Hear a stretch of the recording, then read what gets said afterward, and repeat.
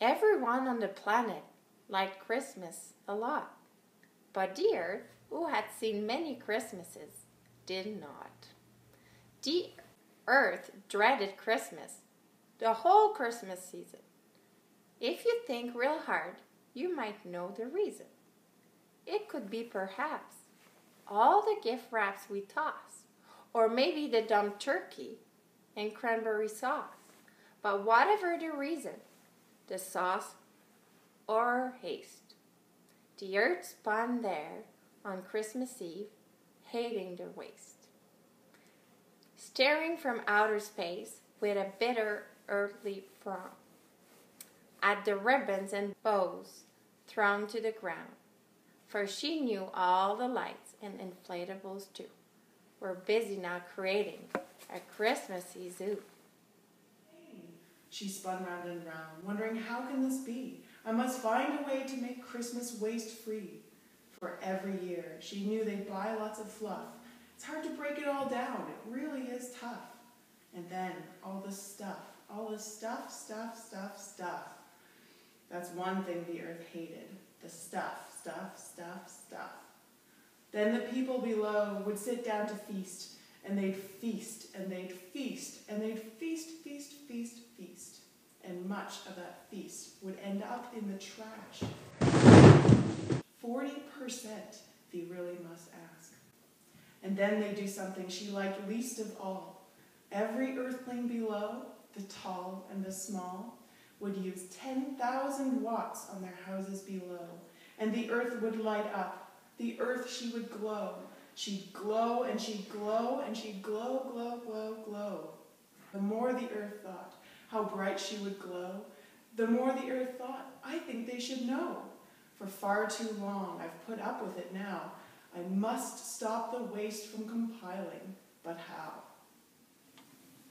Then she got an idea, an awesome idea. The earth got a wonderful, awesome idea. I know just what to do, the earth smiled to herself, and she got much needed help from a small Christmas elf. The elf looked around and cried, What a sin! Then went and emptied the recycling bin. All I need is some presents, and the elf looked around, but since presents were scarce, there were none to be found. Did that stop the elf? No, the elf simply said. If I can't find presents, I'll make some instead. The stuff here in this blue bin should do me just fine, and the elf made tree decor that looked just divine. He loaded old sweaters and his sewing machine. He told Earth, don't worry, this Christmas will be green.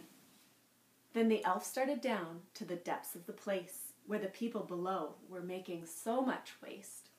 All their houses were lit with incandescent lights. The shiny red paper gave the elf quite a fright. Then he moved and he grooved with a smile most pleasant. Around the whole room he rewrapped every present. This paper is not recyclable, this paper is trash. Then he scurried around in a mad elfie dash. Timers and compost bins, LED socks, local food, popcorn strings, pickles, wood blocks. And he regifted old things. Then the elf very nimbly replaced the electric heat with a chimney. Then he crept to the fridge. He gave them a feast. He gave local veggies. He gave free range meat. He filled up that fridge just as quick as a flash. Why, that elf even gave a pot of garlic mash.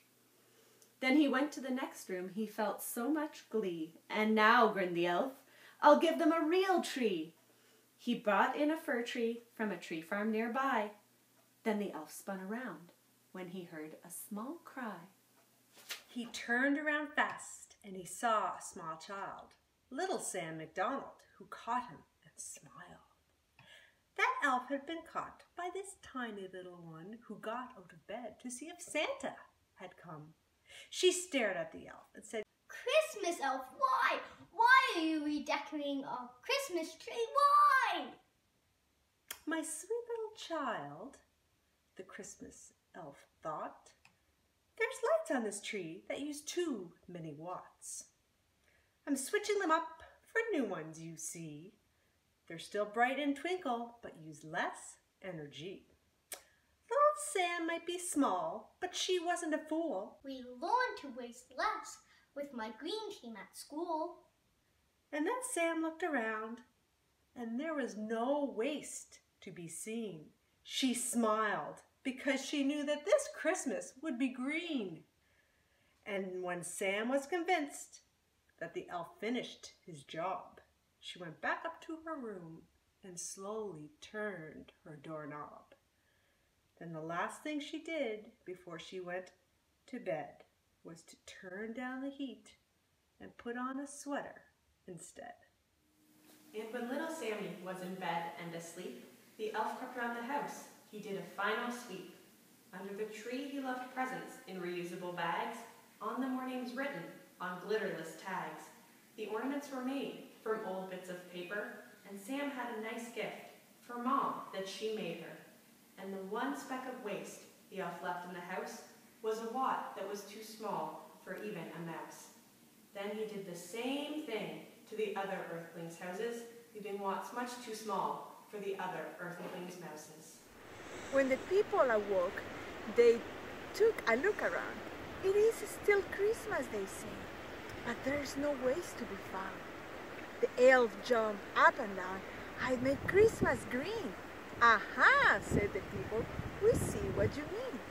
Maybe Christmas, they say, doesn't come from a store. Maybe Christmas, perhaps, means a little bit more. To the ones who they love, they gave of their time instead of spending all their nickels and dimes. And what happened then? Well, the earth, she did say that the people made three times less garbage that day. And they spent time together.